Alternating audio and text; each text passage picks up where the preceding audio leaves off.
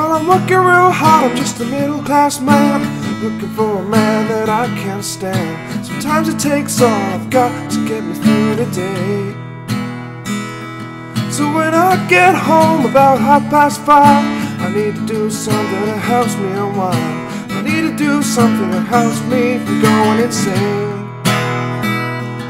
I need to pump on, shout another set. I to pump. I gotta work hard for the sweat. See when I'm working on my muscles, I'm relaxing my mind.